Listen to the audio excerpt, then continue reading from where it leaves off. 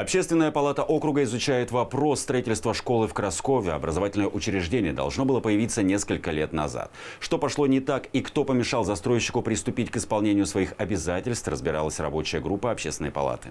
По инвестиционному контракту школу на 700 мест должны возвести в микрорайоне Новокрасково. Большая часть территории, предназначенной под строительство, попадает на обводненный карьер. Еще пять лет назад застройщик приступил к его засыпке, но среди местных жителей были недовольные. Завалили нас жалобами, нас, администрацию, включая э, жалобы в проверяющие органы. Были выходы и Министерства экологии и природопользования, и прокуратуры, и Госадмтехнадзора, да, которые нас на тот момент остановили по засыпке.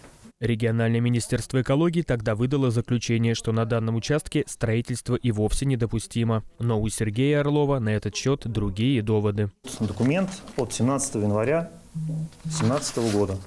Застройщик о ЖСИ проект о нарушении заключения госэкспертизы проект рекультивации обводненного карьера не разработал и не согласовал. Получается, вот э, по вашим словам, получается, сейчас экология противоречит сама себе.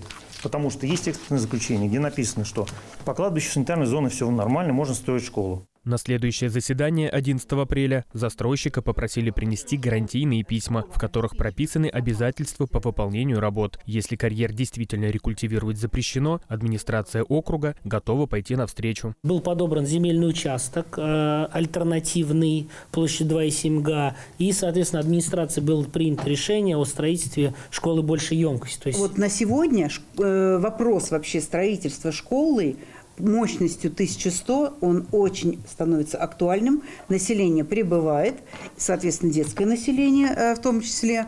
В Краскове всего три школы. Мест на всех не хватает. Почти 750 детей вынуждены учиться во вторую смену. Образовательное учреждение в поселке необходимо, и оно будет построено. Богдан Колесников, Денис Угольников, телеканал ЛРТ.